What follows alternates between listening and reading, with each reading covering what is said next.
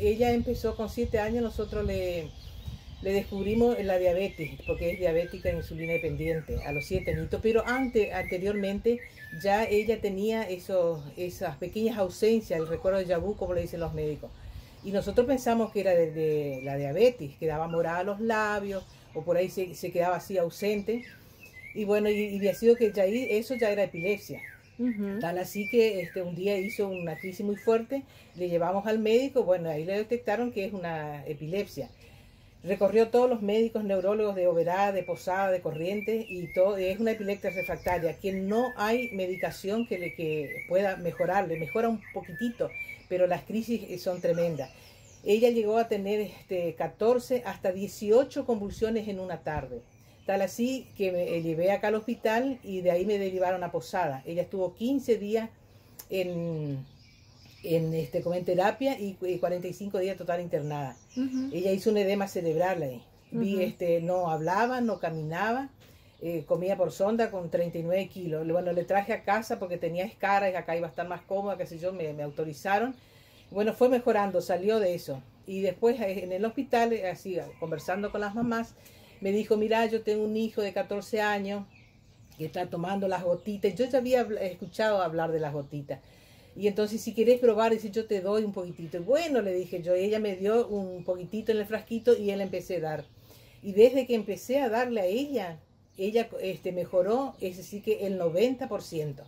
Porque de 14 convulsiones por día, 13, 12, 11, así va hasta una convulsión por día. Después, un día, dos viene, después empezaba de vuelta. Este, ella ahora hace una convulsión al mes o cada dos meses me hace convulsiones. Por ahí dos, por ahí tres, pero cada mes, cada, cada tres meses. ¿Y, usted, ¿Y ustedes, digamos, cómo, cómo, cómo llevan esto? O sea, ustedes compran las gotitas, este, se las traen, ¿cómo, cómo hicieron ese nexo para poder conseguirlas? Bueno, y, la, esta señora me dio el número de Roxana, y entonces yo le conté toda la historia de Roxana y ella me, me mandó las gotitas, ella me dijo que yo consultara a mi médico, pero yo, este, antes, 18 eh, convulsiones en un día, darle que mi hija se muera o no se muera, entonces yo le di por mi propia voluntad. Después le conté al, neurólogo que ella mejoró y bueno, el neurólogo dijo, bueno, yo soy la mamá y yo ya le di, ya si mejora, me, me aceptó, me dijo que sí. inclusive él me maneja la, la dosis, me, me, me dijo que lo aumente y bueno, y gracias a Roxana que ella me manda a través de un motomandado. Y bueno, y están, eh, eh, Roxana eh, cambió la vida de toda la familia, porque ella, a veces yo tengo plata o no tengo plata, ella me manda lo mismo, me cobra solamente el, el transporte, por ahí me regala a veces una gotita, porque ella lo que quiere es ayudar, porque ella tiene un hermano así, que ella me contó su historia también.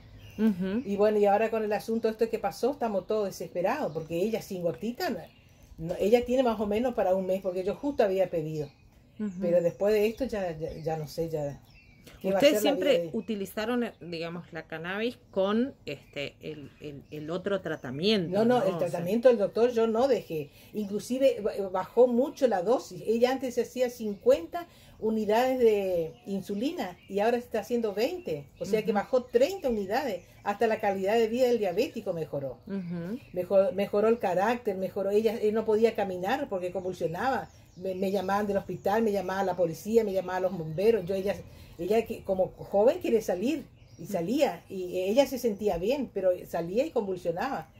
Así que ahora con, esto le cambió la, calidad de vida, pero un 90%. O sea, en términos médicos sería que lo que ustedes le administran coayuda.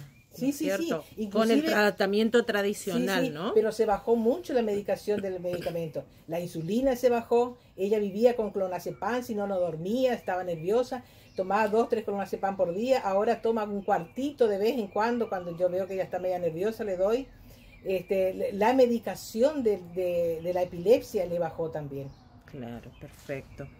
Y esto los perjudica sobremanera, ¿no? Vos me estabas comentando, digamos, de que esta situación que, pasó los perjudica, no solamente a, vos en tu caso particular, sino a un montón de mamás que están en la misma situación, ¿no? Sí, y eso también afecta a la familia, porque no, no, no podemos tener una vida normal porque siempre este, tenemos que acompañarla a ella o ella si se va a algún lado ir con ella y ella se siente incómoda porque ir a una reunión de jóvenes y que esté la, la, mamá junto, o eh, este, donde voy, tenemos que llevarlo a ella. O sea, todos los, los hermanos, el, papá, yo, por ejemplo, vivo por y para ella. Pero ahora, gracias a la gotita, estamos un poquito, ya le digo, Mejor. 90% mejor, sí, totalmente. Y si no le suministran la gotita, ¿qué puede llegar a pasar? Y me va a convulsionar de vuelta. Hacen un marcha atrás. Sí, sí, sí, no, no, no. Ahí me va a retroceder un montón. Yo no quiero ni pensar que me falte la gotita. Están como, como que les urge que esto se trabe para poder, digamos, este, seguir adelante con, con el tratamiento, ¿no? Sí, sí, sí. Sí, sin la gotita, no, no, no. E, eso sí que ella es de, depende de la gotita para andar mejor, porque ya probamos todas las drogas del mercado, como le digo, todas las drogas del mercado a nivel medicina, ¿no es cierto? Sí, sí, sí. sí. No, no, no hubo... Eh, no se soluciona, digamos, pero, pero ella necesita sí o sí que esto esté. Sí, sí, sí, sí. Usted, vos me decías, tenías para un mes aproximadamente, ¿no es cierto? Sí, porque justo le había pedido un frasquito. Sí, y después no hay otra. Sí. Así que están pidiendo eso. Sí, desesperadamente, sí, eso es, es la vida de mi hija. Así como yo, como, como yo como mamá, ¿no es cierto? Yo creo que hay muchísimas mamás que, están en la misma situación.